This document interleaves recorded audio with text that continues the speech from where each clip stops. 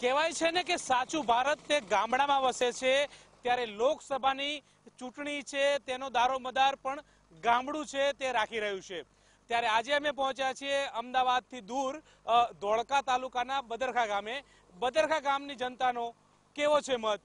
આવો જાણીએ. બદરખા ગામની સરહદે ત્રણ તાલુકા તાલુકાએ સ્પર્શ થાય છે. એટલે કે બદરખા ગામ છે, તે ધોળકા તાલુકામાં આવે છે. તેની સરહદે જે ગામ છે ભાત ગામ, તે દસકોઈ તાલુકામાં આવે છે. અને અહીંથી અડધો કિલોમીટર દૂર કાવીઠા ગામ છે, તે બાવળા તાલુકાની હદમાં આવે છે. એટલે કે ત્રણેય સરહદને આ સ્પર્શતું ગામ એટલે બદરખા. અત્યારે બદરખા ગામના ખેડૂતો માટે જે લુહારી કામ કરે છે ખેડૂતો ખેત ઓજાર લેવા માટે આવતા હોય છે. તેમનો શું છે મૂડ તેની સાથે વાત કરવાનો પ્રયત્ન કરીશું. શું કહેશો? બે હજાર ઓગણીસની ચૂંટણી છે. આપને ત્યાં અનેક ખેડૂતો આવતા હોય છે વાતો થતી હોય છે. કેવા પ્રકારની સમસ્યા અને શું વાત? અત્યારે હાલ જીએસટી ના લીધે શું ધંધાને બેરોજગારી થઈ ગઈ છે. ધંધો સારો છે પણ જીએસટી ના લીધે આમ પાછળ મળતું રહે છે. બરોબર? સરકાર સારી છે સરકાર ગમે તે આવે. બરોબર? પાછળ જતા જીએસટીમાં સારું છે બધાના માટે. ધંધા રોજગાર ઉપર જે અસર થઈ છે જીએસટી ના કારણે અહીંયા ધરાણા રાખવાની વાત છે. શું કહેશો બે હજાર ઓગણીસ ના લઈને? ના ના બે હજાર ઓગણીસ લઈને માનો કે જે જે પરિશ્રમ જે વિકલ્પ છે એ આપણા આપણાથી જ સુધરે અને આપણે મહેનત કરવી પડે. ગવર્મેન્ટ કે જે પણ તે આવે પણ આપણે સપોર્ટમાં રહીએ તો સારું જ રહે. જો એ સપોર્ટમાં આપણે દૂર રહીએ તો આપણે નુકસાન છે ગવર્મેન્ટને નુકસાન છે બરોબર? પબ્લિક જે સપોર્ટમાં રહેશે તે પ્રમાણે આગળ આગળ વધતું જશે એમ. બે હજાર ઓગણીસનું ચૂંટણી આવી રહી છે લોકસભાની ચૂંટણી. આપનો શું મત?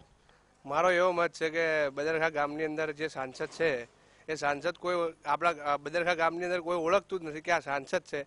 ચાલીસથી પચાસ ટકા લોકો એવા છે કે કોઈ ઓળખતું જ નથી. અને વિકાસના કામો જે કરવાના હોય, એ કરતા નથી. બરોબર છે? એટલે મારો એવો મત એવું છે કે કામ કરે બે હજાર ઓગણીસની અંદર કોઈ બી આવે, ભાજપ આવે યા કોંગ્રેસ આવે, પણ મારો એવો વિકાસ છે કે ભાઈ, બધાનું કામ થાય અને હું બદરખા ગામ પંચાયતની અંદર નિષ્પક્ષ સાથે જોડાયેલો છું. બેરોજગારીનો ગ્રાફ છે તે વધી રહ્યો છે. બે હજાર ઓગણીસનું મત, આપનો મત. મારું તો એટલું કહેવું છે કે જે ગુજરાતમાં જે બેરોજગારી દિન પ્રતિદિન વધતી રહી છે, બરોબર? એના સામે સરકાર કોઈ પગલાં નથી અને વારંવાર ભરતી પાડે છે, જેમાં કૌભાંડ થાય છે. સરકાર એ કૌભાંડ બંધ કરે તો જે યોગ્ય વિશે લાયકાત એ આગળ જશે. પછી શું થાય, આમાં ભરતીમાં કૌભાંડ થતા હોવાથી ખેતી કરવા માંડે, બરોબર, યુવાનો? અને ના કામના અધિકારી લાગી જાય, પોસ્ટ ઉપર બેસી જાય છે. પછી કામ તો થવાનું જ નહીં સારું બે હજાર ઓગણીસની ચૂંટણી છે. આપનો મત કોને?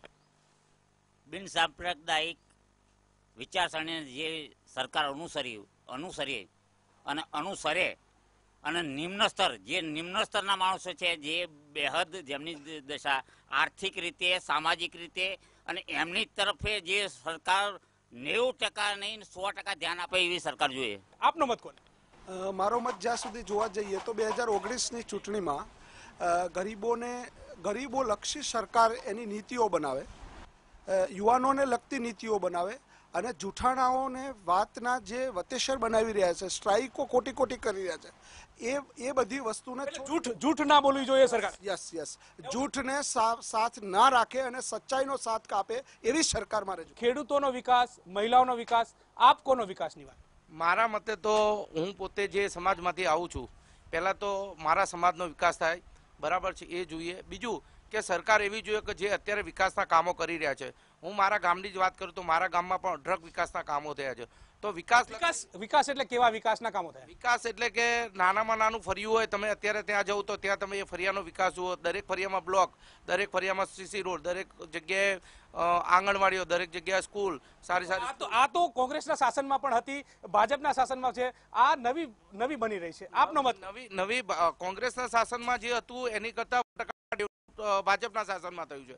એટલે મારો મત ભાજપના શાસનમાં થયું. મારો મત વિકાસને મત છે. કેમેરા પર્સન નરેશ સોલંકી સાથે ગૌતમ શ્રીમાળી વી ટીવી ધોળકા બદરખા.